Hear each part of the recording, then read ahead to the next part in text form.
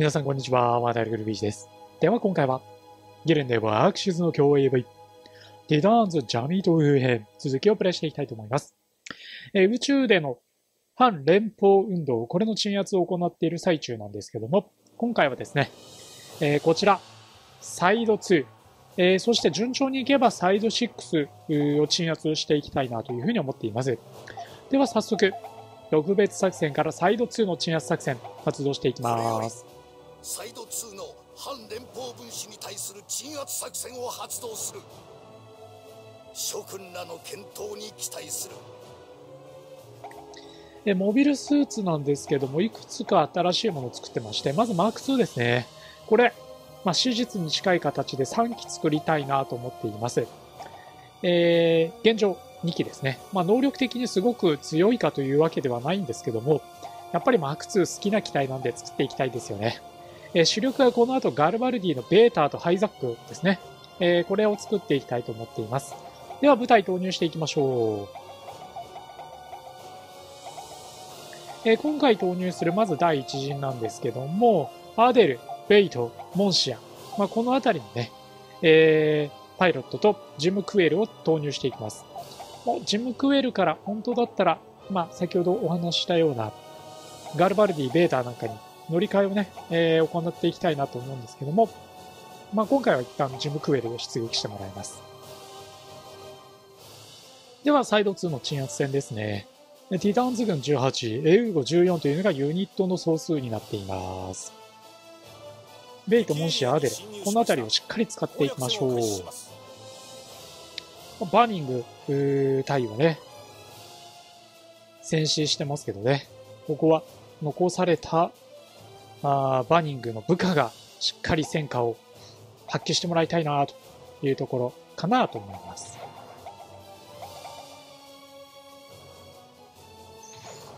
あとはここに一機ジムがいるんですけど、このジムは敵にどうだろう合流される前に潰せるんだったら潰したいかな。というところですね。では、特に作戦らしい作戦も必要ないかなと思いますので、このまま中心部に向かって出撃します。敵はリック・ディアスなんかがいると思います。機影を見た限りでは。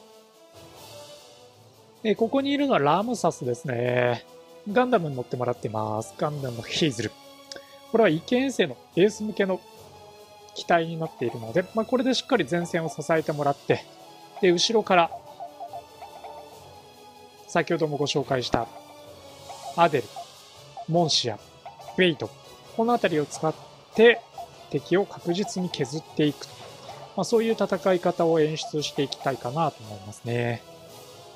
では、ラムサスなんですけども、敵の一撃、なんとか食い止めてくれたので、一旦撤退します。しっかり回復して戻ってきてもらいましょう。敵の一撃受け止めた上ではですね、先ほどお話した戦略にのっとって部隊を動かしていきたいと思います。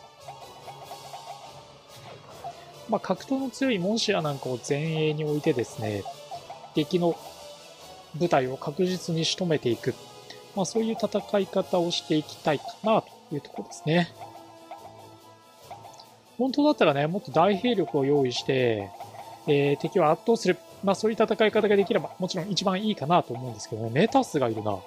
これモビルアーマー形態になってるうちに仕留めたいですね、メタスは。で、ゼノ、ダンケルもいますので、これらも使って一気に数を減らしていきましょう。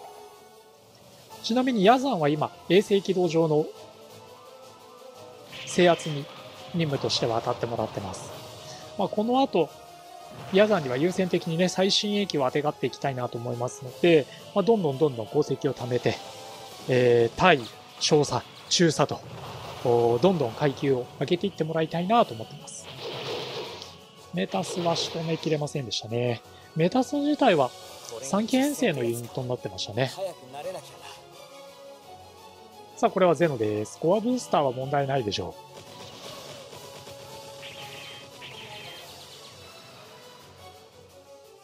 まあ、この後でエウーとの戦いが、まあ、どんどんどんどん激しさを増していくと思うんですけど、まあ、その中で、やっぱりね、クワトロやカミーユ、アムロ、ハヤト、レコア、そして敵に寝返ったエマさんなんかとね、戦っていくことになると思うので、まあそういう敵のエースパイロットを、まあ、どうやって効率よく味方の損害少なく倒していくかっていうのは、まあ一つテーマに掲げていきたいと思ってます。ここはリック・ディアスとの戦いですね。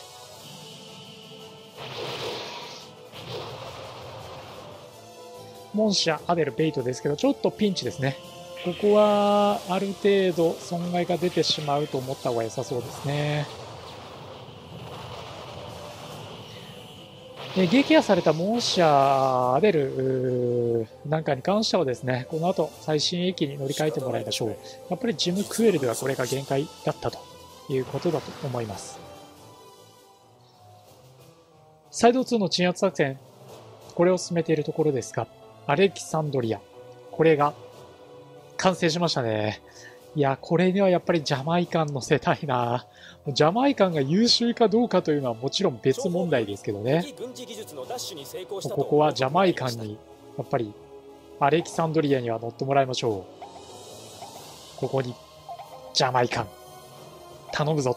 まあそういう形ですね。では、サイド2の鎮圧戦に戻ってきました。このターンでサイド2鎮圧まで持っていきたいかなと思ってます。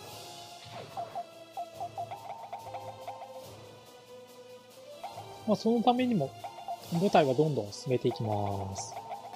アルビオンにはこれブライトが今乗ってましたね。ブライトのパラメータ確認しておきましょう。無力12、格闘8。まあ、ブライトは指揮力も高いですからね。このアルビオン早めに仕留めたいと思います。では、ここで、リックディアス仕留めておきます。まあ、ジムクエルとかね、この辺りの機体だと、うん、リックディアスには苦戦というところだったと思うんですけど、まあ、リックディアス無事撃破できましたね。パイロットは誰も乗ってません。そしてブライト。これには、フェイズル。これを当てます。ラムサスですね。これはアルビオン撃沈しておきましょう。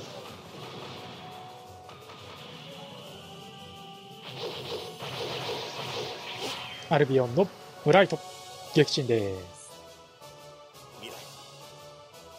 子供たちのことは頼んだぞ。はい、これでサイド2の鎮圧完了です。まあ、マーク2を、えー、今製造中のものも含めて3機作ってるので、まあ、これらもしっかり使ってですね、えー、宇宙での体制を盤石なものにしつつ、サイド6の制圧を行っていきます。報告します。ガンダムマーク2を追撃していたジェリド・メサが地球上空で収容されました。ジェリドが収容されたという話ですね。地上に降下するアーガマを追撃し、返り討ちにあったようです。そうか。地上の部隊にはアーガマのことを伝えておいたのだな。警戒態勢を取るよう通達しておきました。ご苦労だった。ここでカリコン死んだんでしょうかね。まあ、実際にはこのアーガマがね、あの、ジャブローに降下する際に、カクリコンは死にましたからね。そのジャブロー、攻略作戦の情報をキャッチしているようなので、えー、ジャブローには部隊をちょっと増強しておきましょう。まあ、アッシマーなんかをね、えー、置いておければいいかなと思います。はい。えー、ではですね、この後サイド6の攻略戦に向けて周辺の中域の制圧と、それとですね、えー、ジャブロー敵部隊が攻撃を仕掛けてくるというところなので、えー、ジャブローの増強を今行っています。で、ジャミトフとですね、あと、ガルバルディに乗っているヤザン。これもこの後、え、ジャブローに今降下中なので、え、ジャブローの防衛戦に一緒にヤザンもね、参加してもらおうというふうな作戦計画になっています。え、では今回は一旦短いですが、ここまでさせていただいて、次回ですね、ジャブローの防衛戦、え、プレイをしていきたいと思います。